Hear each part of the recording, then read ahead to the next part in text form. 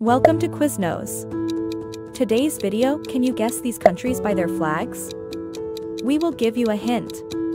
Let us know how many flags you got correct in the comments section. Let's get started.